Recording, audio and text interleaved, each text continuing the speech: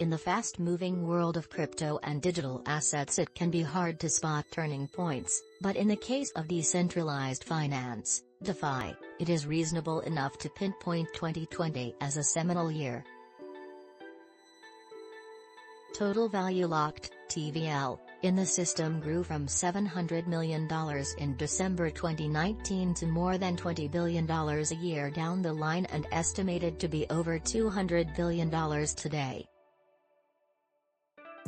DeFi holds out the promise of doing most of the things that financial institutions do, earning interest, borrowing, lending, buying insurance, and trading assets, but doing it faster, without intermediaries, paperwork and bankers. It is a digital peer-to-peer -peer ecosystem, without borders, and is open to all, a digital alternative to Wall Street or the City of London without the associated costs of offices and people and banker salaries, with a promise to create more open, free, and fair financial markets accessible to anyone. Maker, which many would call a pioneer and the very first DeFi project, is a permissionless lending platform responsible for the creation of DAI, the first decentralized stablecoin, built on Ethereum. Maker has long since held the top ranking on virtually all DeFi tracking platforms when it comes to the TVL of Ether. Inevitably the DeFi industry is attracting growing interest and investment from financial institutions, and exchanges are starting to offer DeFi products to customers.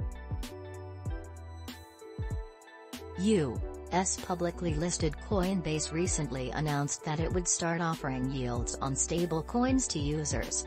State Street, Fidelity and Bank of New York have invested heavily into crypto and are already offering services. These are three of the most conservative and biggest financial institution. That's telling you something. Notes Tim Tishon, Chief Operating Officer of cryptocurrency exchange Dexalot.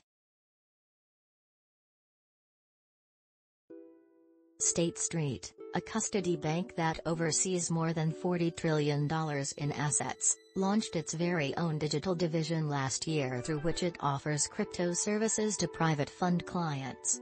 We are even seeing people in the ultra-conservative repo markets, which usually deal with U.S. Treasuries and and some of the yields being quoted by these repo participants are better than what I've seen on some borrowing platforms. Although the first wave of DeFi products were focused on borrowing, lending and staking, some parties are bullish about the sector's evolution.